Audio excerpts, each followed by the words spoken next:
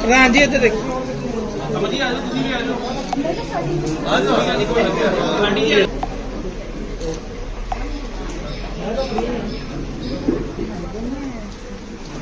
ਇੱਥੇ ਦੇਖੋ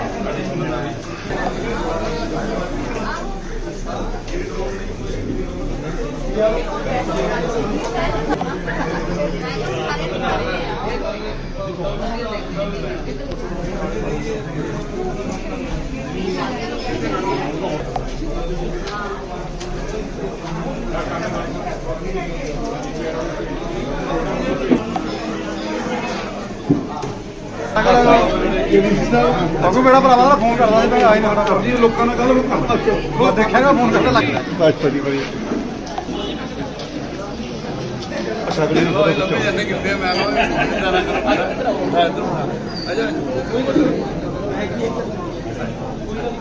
ਇੱਧਰ ਆ ਜਾ। ਉੱਥੇ ਖੜ ਜਾ ਹੋ ਗਿਆ। ਬਹੁ ਵੀ ਫੋਟੋ ਇਹਦੀ। ਇਲੈਕਸ਼ਨ ਤੋਂ ਬਾਅਦ ਮੈਂ ਅੱਜ ਕੈਬਨਿਟ ਮੈਂਬਰ ਪਹਿਲੀ ਵਾਰੀ ਆਇਆ ਕਿਉਂ ਜਦੋਂ ਤੁਹਾਡੇ ਤੇ ਪੰਜਾਬ ਸਰਕਾਰ ਦਾ ਕੰਮ ਨਾਲ ਪੈ ਜਾਂਦਾ ਤਾਂ ਪੂਰੇ ਪੰਜਾਬ ਦੇ ਵਿੱਚ ਟਾਈਮ ਦੇਣਾ ਪੈਂਦਾ।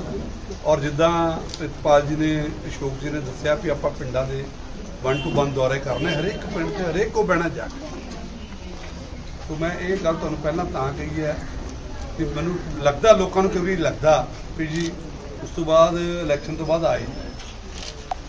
ਜੀਵਨ ਦਲ ਕੀ ਸ਼ਹਿਰ 'ਚ ਵੀ ਹਾਲੇ ਤੱਕ ਇਸ ਜਗ੍ਹਾ ਨਹੀਂ ਜਾ ਪਾਇਆ ਨਿਸ਼ਚਿੰਤ ਰਹੀਓ। ਮੈਂ ਤੁਹਾਨੂੰ ਪਹਿਲੀ ਗੱਲ ਇਹ ਕਹਿਣਾ, ਦੂਜਾ ਹੈ ਵੀ ਤੁਹਾਡੇ ਕੋਲ ਲੇਟ ਪਹੁੰਚਣ ਦਾ ਇੱਕ ਕਾਰਨ ਹੈ ਤੇ ਇੱਕ ਐਕਸੀਡੈਂਟ ਹੋ ਗਿਆ ਸੀ, ਜਿਹਦੇ ਵਿੱਚ ਇੱਕ ਬੰਦੇ ਦੀ ਜਾਨ ਚਲੀ ਗਈ ਸਿਲੰਡਰ ਫਟ ਗਿਆ ਸੀ ਕਿਸੇ ਕੰਪਨੀ ਦੇ ਵਿੱਚ। ਉੱਥੇ ਜਾਣਾ ਵੀ ਬੜਾ ਜ਼ਰੂਰੀ ਸੀਗਾ, ਬੜਾ ਅਫਸੋਸ ਹੋਇਆ। ਲੇਕਿਨ ਉੱਥੇ ਜਾ ਕੇ ਵੀ ਦੇਖ ਕੇ ਆਏ ਆ ਵੀ ਜੋ ਕਿਸੇ ਦੀ, ਕਿਸੇ ਲਈ ਹੋ ਸਕਦਾ, ਉਹ ਕਰਨ ਦੀ ਕੋਸ਼ਿਸ਼ ਕਰਾਂਗੇ। ਔਰ ਮੈਂ ਤੁਹਾਨੂੰ ਇੱਕ ਗੱਲ ਦਾ ਯਕੀਨ ਦਿਵਾਉਣਾ ਚਾਹੁੰਦਾ, ਮਾਨਯੋਗ ਮੁੱਖ ਮੰਤਰੀ ਭਗਵੰਤ ਮਾਨ ਜੀ, ਜਿਹੜੀ ਸਰਕਾਰ ਹੈਗੀ ਹੈ ਉਹ ਦਿਨ ਰਾਤ ਬਹਿਰੀ ਪਹਿਲੇ ਦਿਨ ਤੋਂ ਔਰ ਇਹ ਪੂਰਨ ਇਮਾਨਦਾਰੀ ਨਾਲ ਕੰਮ। ਕਦੀ ਇਦਾਂ ਹੋਇਆ ਨਹੀਂ, ਅੱਜ ਤੱਕ ਸਰਕਾਰਾਂ ਪਹਿਲੇ ਦਿਨ ਤੋਂ ਕੰਮ ਸਟਾਰਟ ਕਰ ਸਰਕਾਰਾਂ ਜੋ ਦੇਖਦੀਆਂ ਸੀਗੀਆਂ ਇਹ ਇਲੈਕਸ਼ਨ ਜਿੱਤ ਲਿਆ। 6 ਮਹੀਨੇ ਤੱਕ ਤਾਂ ਮੰਤਰੀ ਮੰਡਲ ਹੀ ਡਿਸਾਈਡ ਨਹੀਂ ਸੀ ਹੁੰਦੇ ਵੀ ਕਿਹਨੇ ਬਣਾਉਣਾ, ਕੀ ਕਰਨਾ। ਉਹ ਕੱਢ ਤਾਂ ਪਤਾ ਲੱਗਦਾ ਸਾਲ ਲੰਘ ਗਿਆ 2 ਸਾਲ ਲੰਘ ਗਏ। ਤੇ ਜਦੋਂ ਕਿਤੇ ਕੋਈ ਇਲੈਕਸ਼ਨ ਆਣਾ ਹੁੰਦਾ ਸੀਗਾ, ਉਹਦੇ ਜਾ ਕੇ ਜਾ ਕੇ ਕੋਈ ਕੰਮ ਚਾਲੂ ਕਰਤਾ।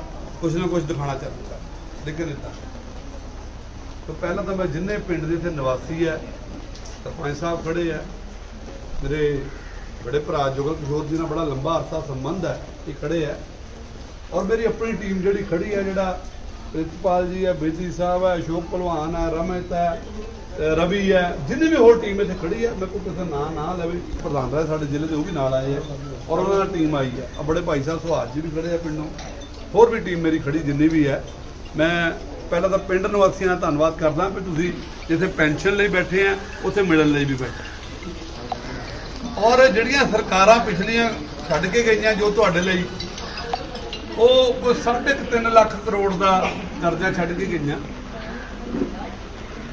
ਔਰ ਉਹਨੂੰ ਠੀਕ ਕਰਨ ਦੇ ਲਈ, ਉਹਨੂੰ ਦੇਖੋ ਫਾਈਨੈਂਸ ਡਿਪਾਰਟਮੈਂਟ ਇੱਕ ਹੁੰਦਾ ਵੀ ਜਿਹੜਾ ਜਿੰਨੇ ਹੁਣ ਅਸੀਂ ਇੱਥੇ ਬੰਦੇ ਬੈਠੇ ਆ, ਪੈਸੇ ਨਾ ਮਸਲੇ ਸਾਰੇ ਰਲੇ ਹੋਏ ਜਿਹੜੇ ਪੈਸੇ ਤੋਂ ਸ਼ੁਰੂ ਹੁੰਦੇ ਆ। ਪਰ ਨਿਸ਼ਚਿੰਤ ਰਹੀਓ, ਸਰਕਾਰ ਤੁਹਾਡਾ ਇੱਕ ਇੱਕ ਪੈਸਾ ਜਿਹੜਾ ਇਮਾਨਦਾਰੀ ਦਾ ਖਜ਼ਾਨੇ 'ਚ ਪਾ ਕੇ, ਜਿਹਦਾ ਸਭ ਤੋਂ ਵੱਡਾ ਇੱਕ ਐਗਜ਼ਾਮਪਲ ਸੀਗਾ, ਇਹ ਪਹਿਲਾ ਐਮਐਲਏ ਕਿੰਨੀ ਵਾਰੀ ਬਣਿਆ ਜੀ? 5 ਵਾਰੀ। ਕਿੰਨੀ ਵਾਰੀ ਬਣਿਆ ਜੀ? 7 ਵਾਰੀ। 7 ਪੈਨਸ਼ਨ। ਮੈਂ ਕਹਿੰਦਾ 5 ਵਾਰੀ ਬਣਿਆ 3 ਲੱਖ ਰੁਪਏ। ਸਾਢੇ 3 4 ਲੱਖ ਰੁਪਏ ਬਣ ਸਰਕਾਰ ਨੇ ਪਹਿਲਾ ਤਾਂ ਸਭ ਤੋਂ ਵੱਡਾ ਫੈਸਲਾ ਲਿਆ, ਉਹਦੇ ਨਾਲ ਘੱਟ ਤੋਂ ਘੱਟ ਇੱਕ ਇੱਕ ਐਮਐਲਏ ਚਾਹੇ ਕਿੰਨੀ ਵਾਰੀ ਮਰਜ਼ੀ ਬਣਿਆ ਹੋਵੇ, ਉਹਨੂੰ ਪੈਨਸ਼ਨ ਇੱਕੋ ਹੀ ਮਿਲੇਗੀ ਘੱਟ ਤੋਂ ਘੱਟ 100 ਕਰੋੜ ਰੁਪਈਆ 5 ਸਾਲ ਦੇ ਵਿੱਚ ਤੁਹਾਡਾ ਬਚਣਾ ਔਰ ਸਾਰਾ ਤੁਹਾਡੇ ਲੋਕਾਂ ਦੇ ਲਈ। ਪਹਿਲਾਂ ਆਪਮਾਨਦਾਰ ਹੋਣਾ ਪੈਂਦਾ।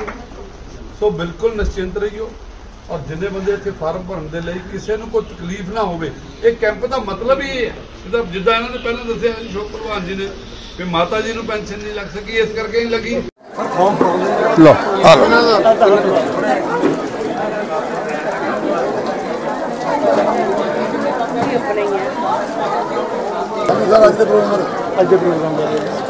ਅੱਜ ਇਹ ਜਿਹੜਾ ਪ੍ਰੋਗਰਾਮ ਹੈ, ਇਹ ਬੁਢਾਪਾ ਪੈਨਸ਼ਨ, ਵਿਡੋ ਪੈਨਸ਼ਨ ਜਿਹੜਾ ਹੈਗਾ ਉਹਦੇ ਲਈ ਇਹ ਕੈਂਪ ਲਗਾਇਆ ਗਿਆ ਤਾਂ ਕਿ ਕੋਈ ਵੀ ਐਸਾ ਬੰਦਾ ਨਾ ਜਿਹਦੀ ਕੱਲ ਨੂੰ ਕਿਸੇ ਨੂੰ ਕੋਈ ਪ੍ਰੋਬਲਮ ਹੈਗੀ ਉਹਦਾ ਕੋਈ ਆਧਾਰ ਕਾਰਡ ਹੈ ਨਹੀਂਗਾ ਕੁਝ ਕਮੀ ਪੇਸ਼ੀ ਪੇਪਰਾਂ 'ਚ ਰਹਿ ਜਾਂਦੀ ਜਿਹਦੇ ਕਰਕੇ ਉਹ ਪੈਨਸ਼ਨ ਲਟਕੀ ਰਹਿੰਦੀ ਹੈ। ਇੱਥੇ ਅੱਜ ਸਾਰੇ ਅਫਸਰ ਸਾਹਿਬਾਨ ਮੌਜੂਦ ਹੈ ਮਾਨਯੋਗ ਮੁੱਖ ਮੰਤਰੀ ਭਗਵੰਤ ਮਾਨ ਜੀ ਦਾ ਇੱਕੋ ਦਿਸ਼ਾ ਨਿਰਦੇਸ਼ ਹੈ ਸਾਰਿਆਂ ਲਈ, ਸਾਰੇ ਅਫਸਰਾਂ ਨੂੰ ਵੀ ਹਰੇਕ ਗਰੀਬ ਆਦਮੀ ਤੱਕ ਪਹੁੰਚਿਆ ਜਾਵੇ।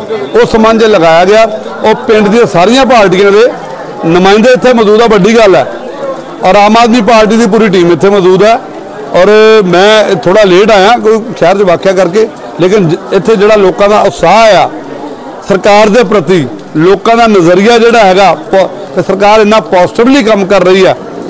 ਸੋ ਉਹਦਾ ਇੱਕ ਬਹੁਤ ਖੁਸ਼ੀ ਹੋਈ ਹੈ ਦੇਖ ਕੇ ਲੋਕਾਂ ਦੇ ਵਿੱਚ ਵੀ ਬੜਾ ਅੱਛਾ ਰਿਸਪਾਂਸ ਹੈ। ਔਰ ਡੈਫੀਨੇਟਲੀ ਹੈ ਜਿਹੜੀਆਂ ਗਰੀਬ ਆਦਮੀਆਂ ਲਈ ਜ਼ਰੂਰਤਮੰਦ ਆਦਮੀਆਂ ਲਈ ਜਿੰਨੀਆਂ ਵੀ ਸੇਵਾਵਾਂ ਹੈਗੀਆਂ ਅਸੀਂ ਪਿੰਡ ਪਿੰਡ ਦੀ ਘਰ ਘਰ 'ਚ ਸਾਡੀ ਟੀਮ ਜਿਹੜੀ ਹੈ ਅੱਗੇ ਹੋ ਕੇ ਪਹੁੰਚਾਏਗੀ। ਮੈਂ ਇਸ ਚੀਜ਼ ਦਾ ਤੁਹਾਡਾ ਵਾਅਦਾ ਕਰਦਾ। ਸਰ ਤੁਸੀਂ ਵੀ ਕੈਂਪ ਲਾਏ ਜਾਓਗੇ? ਬਿਲਕੁਲ ਲਾਏ ਜਾਊਗਾ ਮੈਂ ਡਿਪਾਰਟਮੈਂਟ ਨੂੰ ਕਹੂੰਗਾ ਵੀ ਦੋ ਦੋ ਤਿੰਨਾਂ ਵੱਡੇ ਪਿੰਡਾਂ ਨੂੰ ਨਾਲ ਲੈ ਕੇ ਆਪਾਂ ਪਿੰਡ ਪਿੰਡ 'ਚ ਹੀ ਇਹਨਾਂ ਨੂੰ ਲਾਉਣ ਦੀ ਕੋਸ਼ਿਸ਼ ਕਰਾਂਗੇ।